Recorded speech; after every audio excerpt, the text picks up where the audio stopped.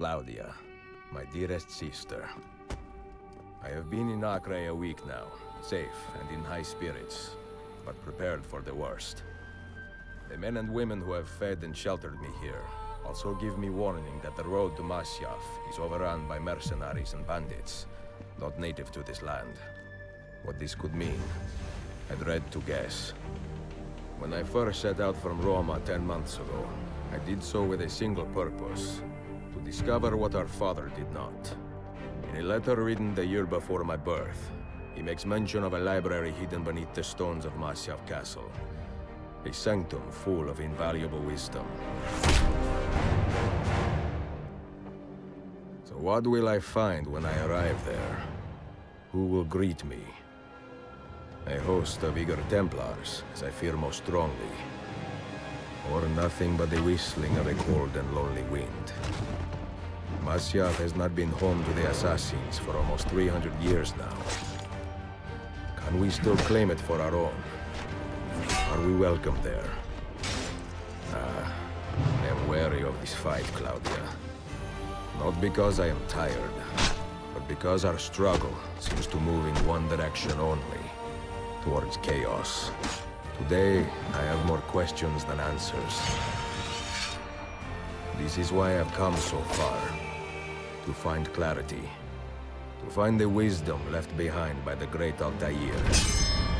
So that I may better understand the purpose of our fight. And my place in it.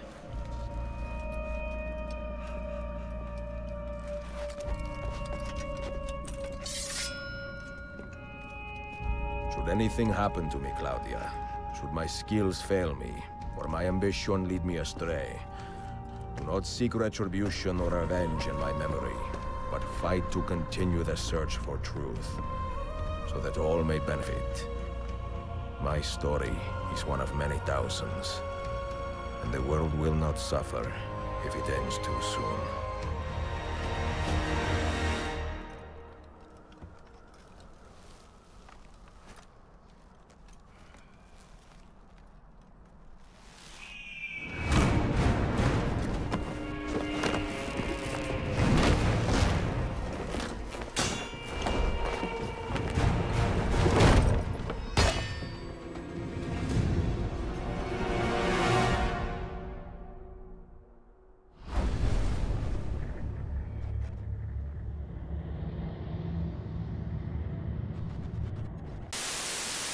I just want to say that I tried to use the PC version of this game for this video, but it kind of spazzed out, so we're using the Ezio collection. Assassin's Creed Revelations, in my opinion, is arguably the weakest of the Ezio trilogy, but that by no means makes it a bad game. In fact, it's a very good one. The game holds so many memories for me, being the conclusion to a trilogy that I absolutely adored. A game that has an incredible story, fun gameplay, and an immense soundtrack. So it's no surprise that Assassin's Creed Revelations is still gold. Let's just get cracking, shall we?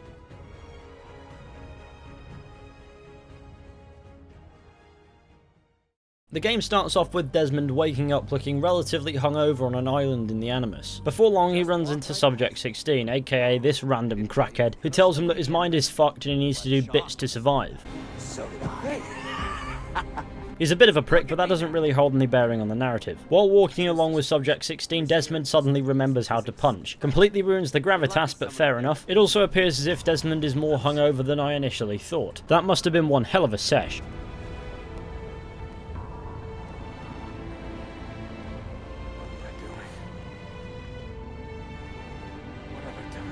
Yes, Desmond, after a dodgy night out, I too regret it. Right, okay, let's definitely blindly walk through this gate. That's a great idea. The next 30 seconds is just an intro listing all of the Ubisoft studios that worked on this game, as well as Ubisoft Quebec, who I simply refuse to believe had any part in it. Then, of course, you have this awesome intro, which we've already seen in this video. Ezio kills a load of Templars, gets captured by Templars, nearly executed, but escapes at the last moment. Right, we ready to get into the gameplay? Cool. So for the first few moments of gameplay we find ourselves following a ghost. But that's alright, I think he's friendly, so he's kind of like Casper but a bit more stabby. For some reason the first guard we come across is unarmed, which is a bit unusual considering we just escaped their capture and we just happen to be unarmed too. After a quick climb we find ourselves conveniently coming across our weapons which just happen to be laying about. Remember that it's the right hidden blade that's broken because that's important later. You know if these guys took better care of the weapons keeping them more secure we wouldn't be cutting through them like I can't believe it's not butter. Obviously, we're going to have to loot the bodies, otherwise I can't justify killing them. As you can see, Altair's ghost is getting rather impatient. I'm a polite man, I don't want to annoy this dead fella, so why don't we continue along with his climbing set piece? Look at the weather, it must be absolutely freezing up here, yet Ezio being a hardened Italian man does not seem to care goodest of buys. Upon reaching the top of the keep, Ezio finds a statue which he promptly kicks off onto the square below, not knowing what's below it. Could have waited before you jump because you don't know what's down there, but conveniently enough it's water.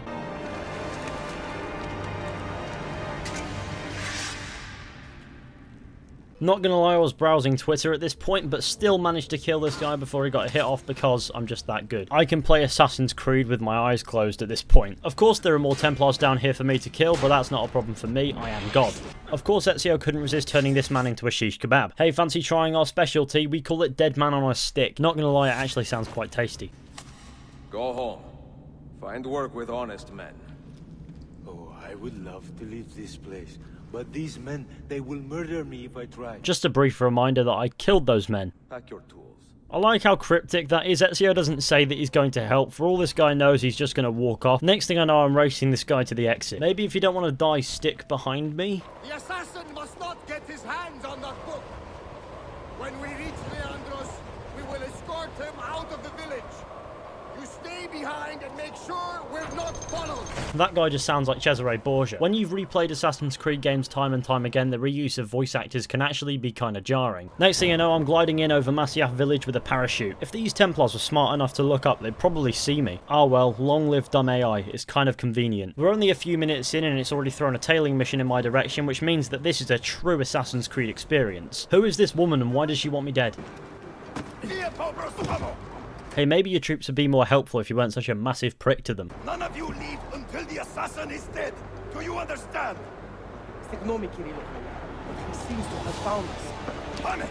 On it! See what I mean? That's a pathetic performance. Take better care of your employees, cocknose. I don't have much to say on this part, but listen to this amazing soundtrack.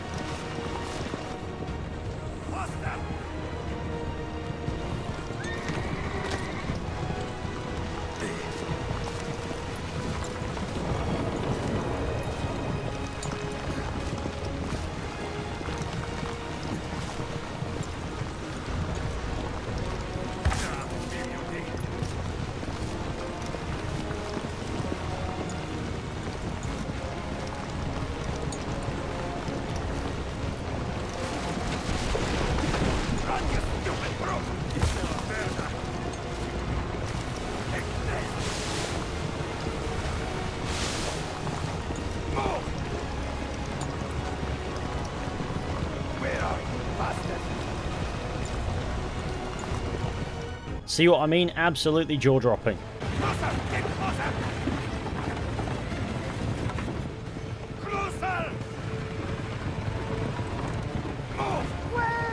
Why did this guy just murder the soldier who just saved his life, even if it was only for a few more minutes? Now that's just a bit rude, isn't it? Excuse me, sir, but this carriage is now property of me.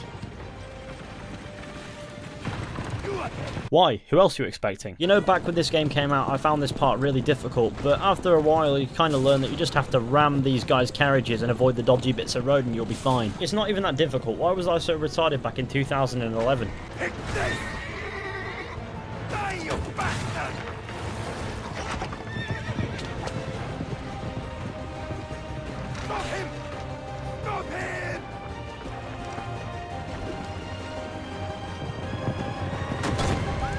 That must be the luckiest throw ever. Seriously, this goon deserves a promotion. Instead though, I find myself killing him.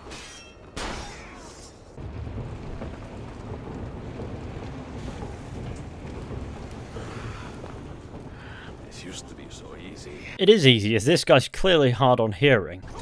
You can see in the combat in this game that Ubisoft said, fuck it, let's just be as brutal as possible. Could it be that you are every bit as deadly as the legends say? Or am I in charge of an army of drunks swinging sticks? I'm gonna go with both. Right this way, Ezio. Nowhere left to run now! Not for me, and not for you. Now, had they tried, they would have been able to make it past this gate, but they didn't, because this guy's an asshole.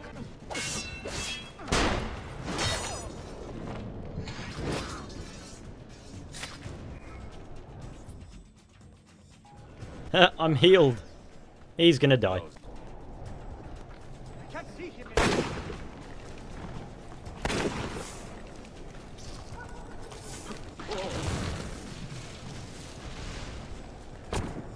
God damn these bastard riflemen. I know I'm supposed to ignore you guys, but I'm gonna kill you anyways. Malaka! What is it with this guy and murdering his friends? What does it take to kill you, eh? Why will you not die? Don't you ever stop howling. Notice how he kills him with the broken hidden blade. That's got to be a painful way to go. It's also funny considering this guy's stature that Ezio just walks up to him and stabs him. Shortly after, Ezio's writing a book. Hey man, whatever works for you. My dearest sister, today I killed 30 million Templars. It was a good day. Here comes another one of those scenes that I'm just going to have to show you and say nothing, so bear with me.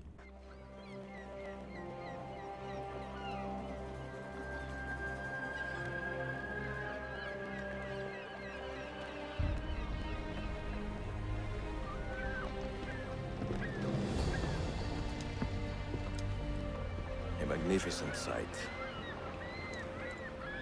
It is a work in progress. No city in Europa has a skyline quite like this. Well, to be precise, that is Europa. That is Asia. Ah. Some borders even the Ottomans cannot move. Very few. You are Italian by the sound of it, but your outfit is not. Have you been traveling long? See, I'm molto tempo. I left Rome a 12 months ago, looking for inspiration. And that search brought me here. Yeah, that was a nod that says I smell bullshit. When I was a child, my father told me stories about the fall of Constantinople. You must mean the conquest of Constantinople. I suppose the moral of any story matches the temper of the man telling it. That we can agree on. Güzel. Constantinople is a city for all kinds and creeds. Students like me or uh, travelers such as yourself. You can tell he wants to say bullshitters because he knows that Ezio is not a mere traveller. Hoş geldin kardeşim. Unless the legend is a lie, you are the man I long to meet. Renowned master and mentor. Ezio Auditore de la la la. Had he said that in 2019, he would have offended at least 60,000 people and started a full-on Twitter war. I wish I was alive in the 16th century. I feel as if it would be more suited to my humour and also my desire to gut people. They nearly destroyed this city. Fewer than 40,000 people before the fall, living in squalor. Aynen öyle. And now 300,000 men and women by the last count. We have done our part. We made this city strong again. We rebuilt it. Byzantines do not see it that way. They just cause trouble every chance they get. Well, they were the most dedicated people to a conversation that I've ever seen. Obviously, it wouldn't be a classic Assassin's Creed Revelations walk-along section without me pickpocketing library. everyone along the way. A small faction with dreams of restoring the day. And the Sultan Bey I fucking love Revelations. Between the Templars and the Ottomans, you must stay busy. Ezio, I barely have time to polish my blade. So, did you follow us, or are you just hoping that we took the route? I swear the NPC AI in this game is fucking clapped. You know what? This screen grab is pretty nice looking. I'm gonna keep it. No, no. Watch. Byzantium is dead, as are you. Jesus Christ, this is a face that's seen some shit. So we arrive at the Assassin's HQ and turn around, there's a bunch of folk who just want me dead.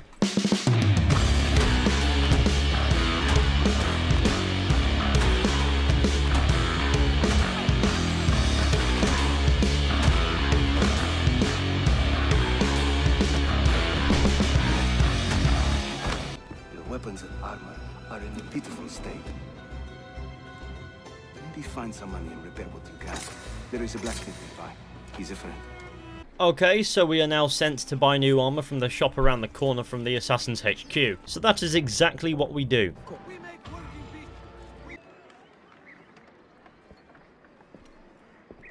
Praise the heavens! We feared we had lost our mentor to the vices of the big city. I literally went around the corner, you cocky bastard. I was gone less than a minute. Revelations does this a few times where the lines don't quite make sense in the game, but they kinda do in the novel.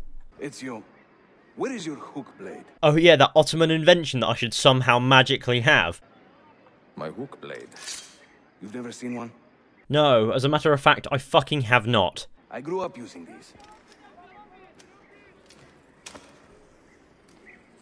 Hmm. Show me how it works. After a quick tutorial on how to utilize the hook blade, we get this magical piece of dialogue. The standard Ottoman hook blade has two parts, you see. The hook and the blade.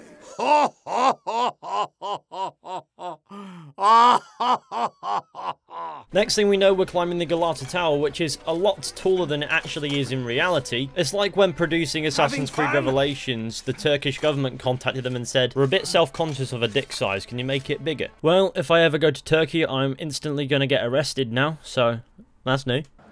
Welcome to Constantine, Ezio, the crossroads of the world. Many generations of men have ruled the city, but they have never subdued her. She always bounces back. It seems a fine place to call home. It is. Race you to the bottom? Sorry, I can't take you up on this offer for a race because I need to synchronize the viewpoint. My brothers in Roma would like this. Just give credit where it is due. Yusuf çabuk buraya gel. Huh? An attack on two fronts, Galata and the Grand Bazaar. Ah, yes, tower defense. My favorite thing ever. I don't care what you think about tower defense, it's worth it just to bear witness to that. Why are four Forley guards working for the Byzantines? What's going on? Well, we made short work of the battering ram. Ezio! Come meet my new friends!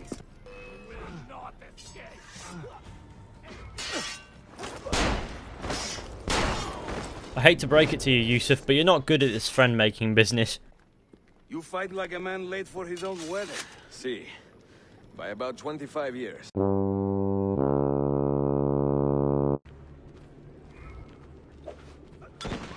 Ah, yes, I sure do love bombing things.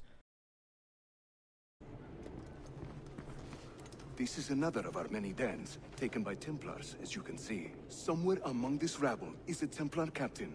Kill him, then climb the tower and light their signal fire. So basically what I've been doing in Brotherhood, but again. Yeah, I could have figured this one out on my own.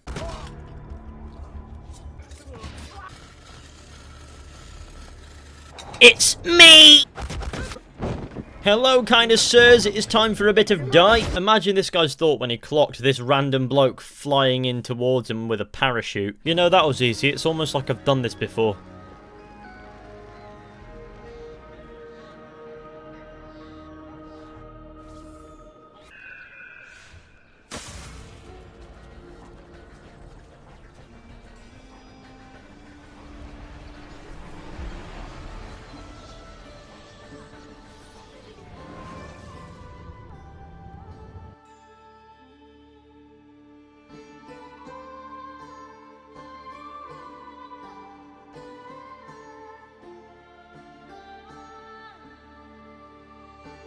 So there you have it, Assassin's Creed Revelations is still gold. This is a game that I absolutely adore. I love this game to bits. I've played this game so many times that I can't even count them. And if you haven't played it, and the Assassin's Creed games before it, then I highly recommend it. I know it gets shaky further on down the line, but the first four games are 100% solid. One can be a bit repetitive, but they're all worth your time, and I highly recommend them. So I guess that concludes this episode of Still Gold. Thank you all for watching, I hope you enjoyed. Be sure to go ahead, leave a like, subscribe, share the channel with your friends and all that wonderful stuff, and maybe if you want to help out the channel even further, maybe consider becoming a patron and get all the extra content over there as well. I'm aiming to create a fun little community over there, and from $1 a month you get loads of cool stuff. Or at least that's kind of what I think. If you can't, don't feel forced to, because I appreciate anyone anyway, but without Patreon, these videos wouldn't be possible. I mean, most would. I'm on about still gold, you know. Anyways, that's enough promotion. I will see you all very soon with another video at some point.